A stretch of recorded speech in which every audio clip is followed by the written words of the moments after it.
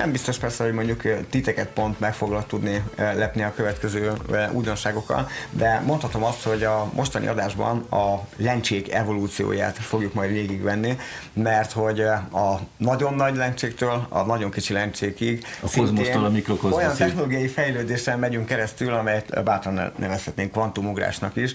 Ilyen például egyébként az Európai Déli Obszervatórium egyik legnagyobb, vagy mostani legmodernebb kutatási ága, illetve projektje, ez maga az Extremely Large Telescope, az ELT, a, a különösen Vagyis nagy... jó nagy távcső, ugye? A különösen nagy távcső.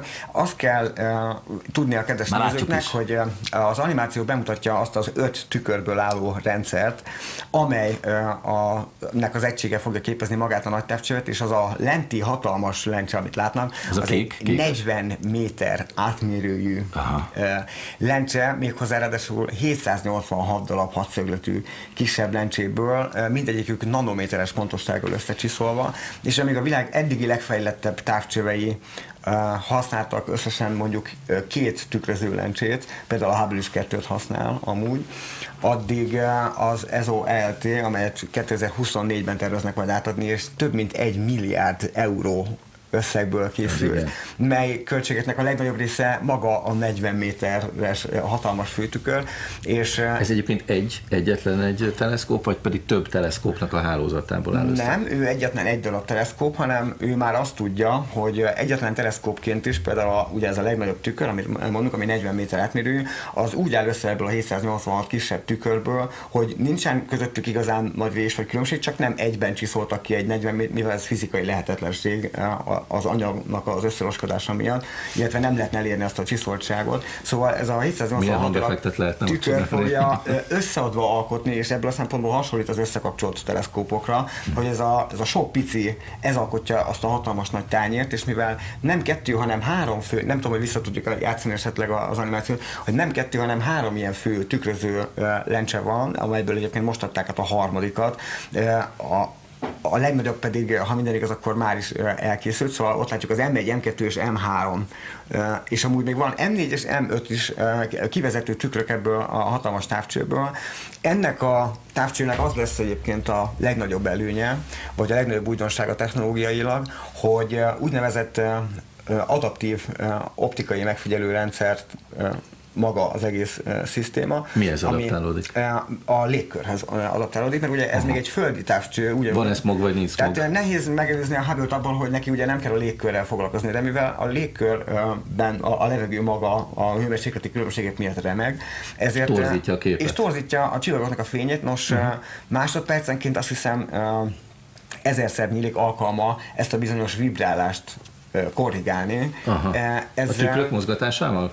Igen, így van. Az, az adaptív tükör rendszer az azt jelenti, hogy akkor ő ahhoz képest állít még a kis tükrökön, Hű. hogy mindenképpen eltűnjön ez a bizonyos torzítás. Amit a rezgető motorokat építettek és be, ugye? egyszer csak ott járunk, hogy ugye egy, egy ekkora távcsövet, pedig a Hubble se kicsi, de azért ez az ESO ELT, ez tényleg különösen nagy távcsőnek számít, talpazattal, beton alappal, mindennel együtt. Ekkorát nem lehet felküldeni az űrbe, de most 2024-ben, hogyha átadják ezt a hatalmas nagy teleszkópot, akkor abban az élményben lesz a tudós társadalomnak része, hogy végre úgy nézhetünk földi távcsővel az égre este, hogy teljesen mindegy, hogy mennyire remeg a levegő, vagy mennyire volt tiszta, mert olyan, mintha a légkört így kivonnák és nem lenne a Földön légkör, hanem mondjuk a Holdon lenne ez a, ez a bizonyos teleszkóp, hmm. és, a, és a holdi körülmények, a tiszta körülmények. És még messzebb lenni. látunk, vagy még többet látunk? Még messzebb, még többet, még részletesebben látunk.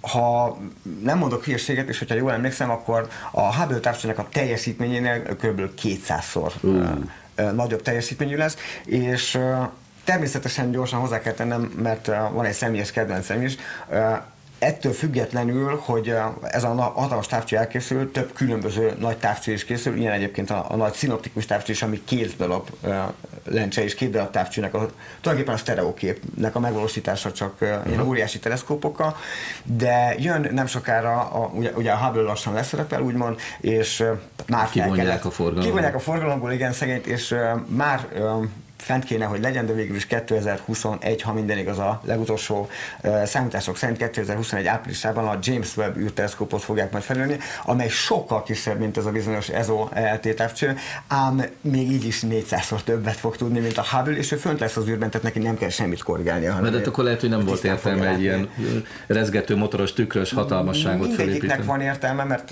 nem tudom, hogy emlékeztek rá, hogy a tavalyi év legnagyobb ilyen csillagászati tudományos eredménye az volt, hogy lefényképeztünk egy fekete lyukat, ezt Igen. úgy sikerült elérni, hogy a Földön hálózatba kapcsoltak annyi és olyan távolságra elhelyezkedő teleszkópot, hogy végül is kiadott egy akkora tányért, ami maga a Föld átmérője.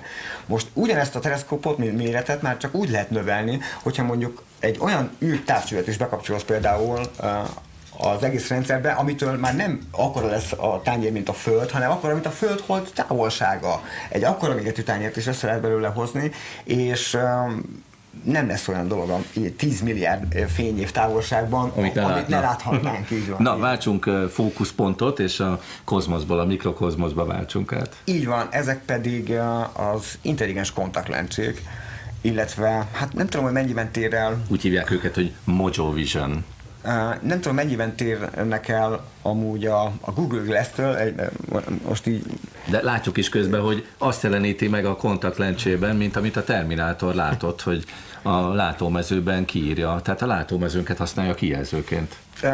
Pontosabban a kontaktlencsén belül jelenít meg, gyakorlatilag képernyőként használva magának a lencsének a, a felületét, hogy Ez a miniaturizáltság, ez már működik? Ez, egyrészt ez a miniaturizáltság, igen. igen.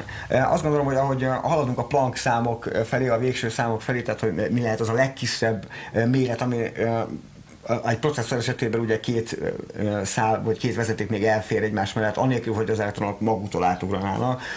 Hol is járunk, most 10 nanométer alatt járunk, ugye, ha minden igaz. A, Ó, bőven. A, a legjobb szerint.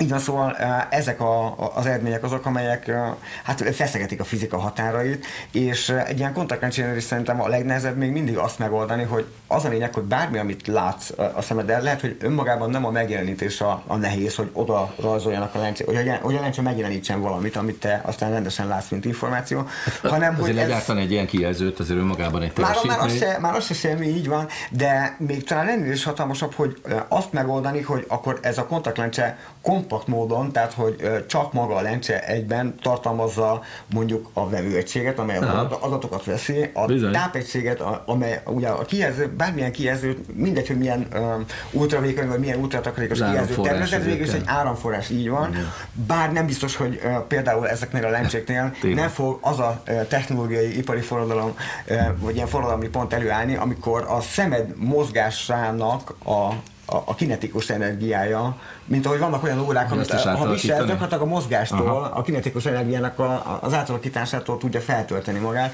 hogy akár ezt a kontaktlencség esetében is nem lehet megvalósítani. Jó, de én tudod, mire meggondoltam be? Hogy mi, mi kevésbé ismerjük, mert te is egy sárga szemüveget használsz, meg én is egy hagyományos. Ezen semmilyen elektronikus kijelző. De tudom azt, hogy a kontaktlencsések így fogják így az ujjukon, és így ráteszik a szemgolyójukra a kontaktlencsét. Na most képzeld el, hogy azt úgy beigazítani, mutatom is, igen, beigazítani a szemgolyódon a kontaktlencsét, hogy ne ferdináljon a képernyő, és azokat a pixeleket pont oda vetítse. Meg is mutatjuk mindjárt, hogy egyébként milyen alkalmazásra van még példa, ugye ez az asszony felszáll a lóra, és akkor ott mellett a kislány kiemeli a kijelző. Vagy Szüksége van a ruhádra, a csizmádra és a lovadra. Ugye, mint a Terminátorban.